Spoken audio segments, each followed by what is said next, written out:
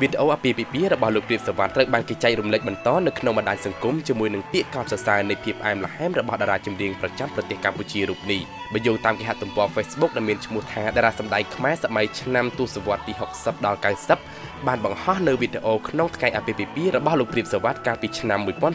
1997ដែលត្រូវបានបង្ហាញឲ្យឃើញថាអ្នកទាំងពីរមានភាពផ្អែមល្ហែមតាំងពីចំណងស្នេហ៍ដំបូងមកម្លេះហើយនៅក្នុងថ្ងៃអាពាហ៍ពិពាហ៍នោះភរិយារបស់លោកបានបកស្រាយនៅបទចម្រៀងជូនដល់ស្វាមីក្នុងថ្ងៃនោះផងដែរសូមបញ្ជាក់ថារយៈពេលជាង21ឆ្នាំមកហើយដែលតារាចម្រៀងរបស់ប្រទេសកម្ពុជាលោកព្រាបសវត្ថបានភ្ជាប់ចំណងស្នេហ៍ជាមួយនឹងភរិយាព្រមទាំងមានចំណងស្នេហាផ្អែមល្ហែមដោយមានកូនប្រុសចំនួន3នាក់មកដល់ពេលបច្ចុប្បន្នហើយកន្លងមកក៏មិនដែលមានលេចលឺព័ត៌មាននៃភាពរកាំរកូសរបស់គូស្នេហ៍តារាល្បីរូបនេះដែរ